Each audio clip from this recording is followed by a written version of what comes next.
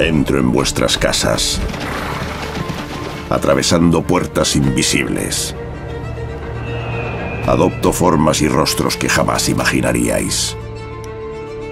Soy un susurro, un rumor, esperando que llegue mi momento, porque el vuestro ya ha llegado a su fin. No podéis atraparme. No podéis encerrarme.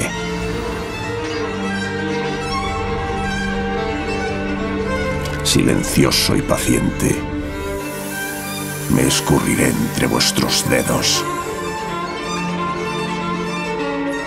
Y golpearé.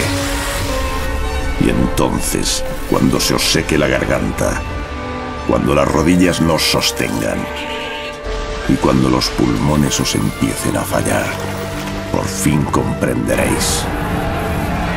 No soy un ejército. No soy un hombre. Soy un credo.